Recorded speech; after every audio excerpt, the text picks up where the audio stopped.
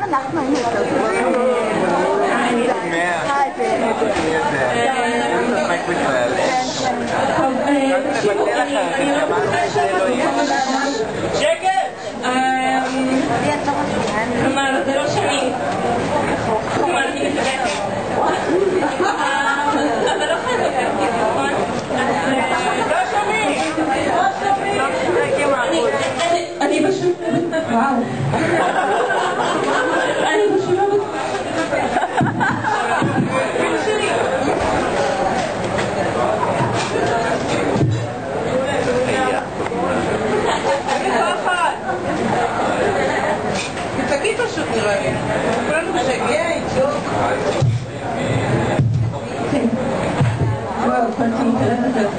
שממש לא בטוחה שאני דרכן בתיכון.